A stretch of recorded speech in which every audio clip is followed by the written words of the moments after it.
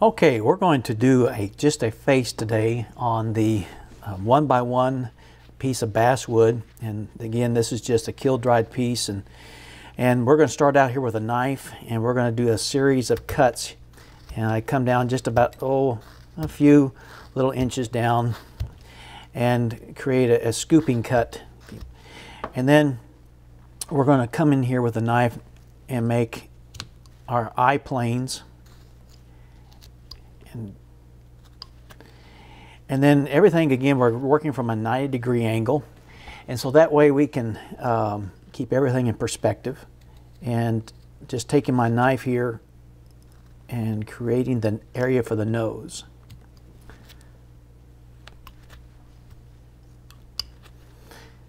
And then I'm going to come right down below here and do a rocking chair cut. I call it a rocking chair. It rocks back and forth instead of trying to cut across. The grain could give away and go into your finger and whatever. If you're like me, I like to eat, so you don't want to do that. So just be aware of where that knife blade is going at all times, the best that you can. And so right now we have an eye area, the bridge, and below the mouth. And so we'll take our knife here and we're going to come right down below here and create open this area up more for the mouth or maybe for a mustache. Next st step we're going to do is take this little five or three or four uh, millimeter U-gouge. We're going to start halfway down the nose and go push straight in toward the eye area.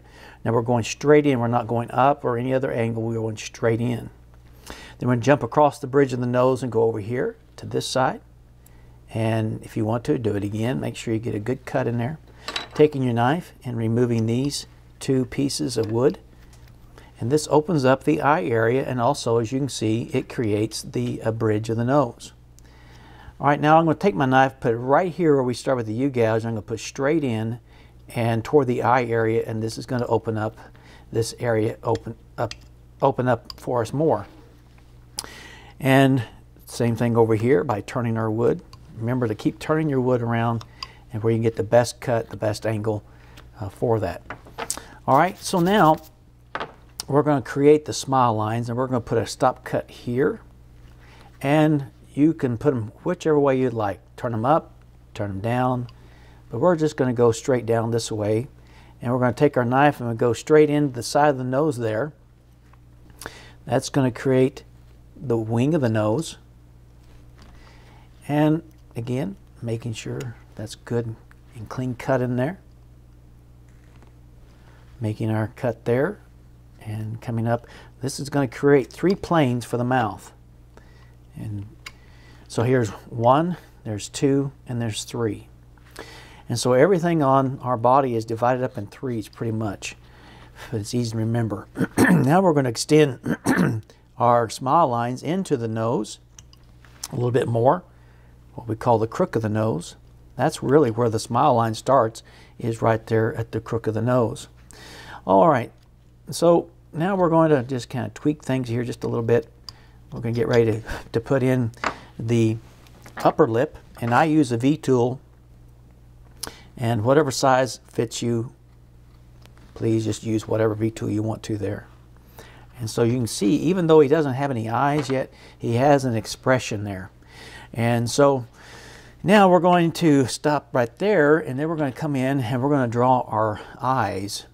And this is going to be the upper eyelid that we're drawing.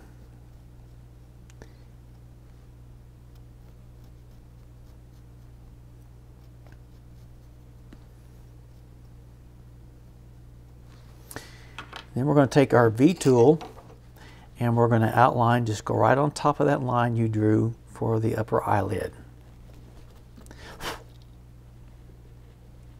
And this is going to create the eyeball area.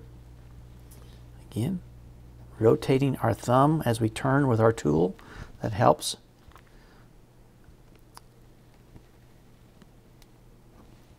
All right, so now we're going to come to now to making the six cuts to each eyeball. And we're going to do three cuts here in each corner of the eye. There's the second cut, and here's the third cut. Come over here to the other end of the eye, do this one, same thing, same cuts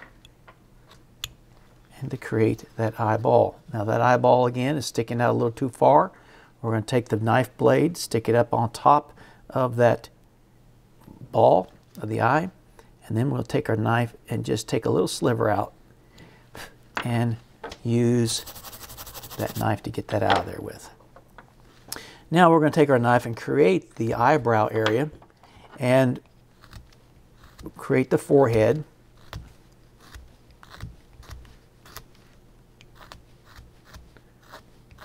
Kind of a rolling cut. We're going to take our, oh, let's see, we need our soft V. Anyway, I'll just use a U-gouge here to separate the forehead a little bit. That way it doesn't have a unibrow. And again, we'll come in here and tweak that forehead a little bit. And we're going to take some of the sides off here a little bit. And that way he's not a blockhead. We don't want to block, block it, even though we're working with a block. And so, round him off a little bit. All right, so let's do the other eye. Let's do three cuts over here on this end of the eye.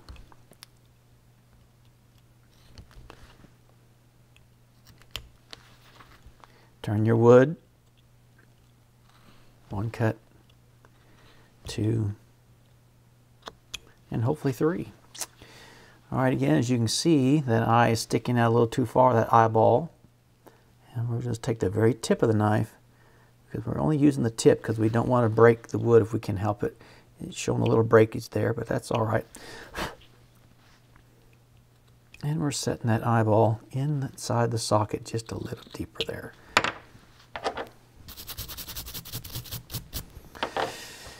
Then we're going to put in the bottom eyelid and we start out from the outer part of the eye and work our way in toward the nose and make that cut there.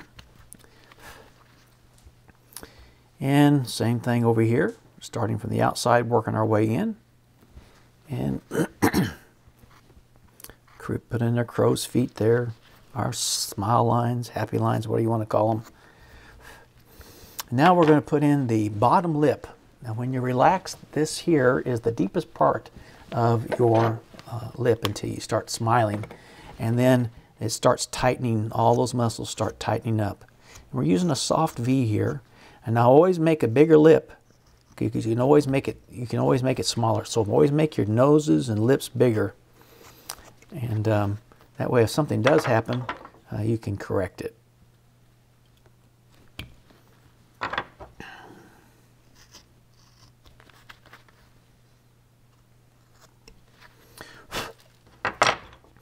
All right, we're going to get ready to open up his mouth to give his mouth some action. Again, always um, make sure you get rid of any sharp edges because there's no sharp edges on the human face or on the body itself.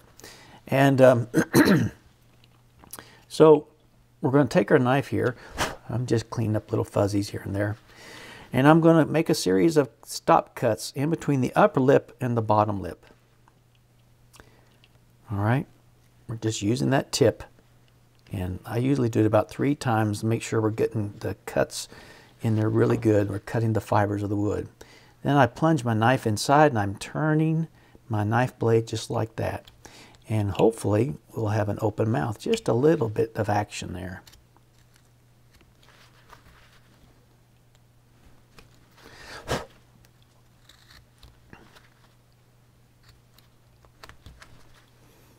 All right, so, and again, you can put teeth in here, you can put a tongue or whatever you'd like to, but we're just doing a simple face today.